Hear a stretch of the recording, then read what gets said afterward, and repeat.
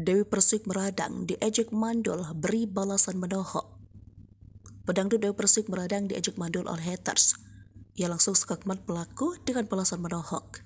Diketahui kehidupan pedangdut Dewi Persik memang kerap menjadi sorotan, mulai dari kisah asmaranya hingga kehidupan pribadi tak luput dari perhatian. Seperti yang belum lama ini, Dewi Persik tampak bersitegang dengan seorang haters.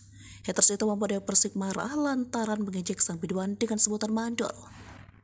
Hal itu diketahui dari unggahan di akun Instagramnya pada 25 Agustus 2023. Di unggahan tersebut, pedangdut yang akrab bersama DP itu mengunggah sebuah foto. Foto itu menerangkan arti mandul menurut hadis Nabi. Dia persik mengunggah foto itu lantaran tak terima dikatai mandul oleh haters. Ia juga menyindir seorang haters agar tak seenaknya menghina dirinya. Tak main-main, dia persik bahkan menandai akun haters yang membuatnya sakit hati itu.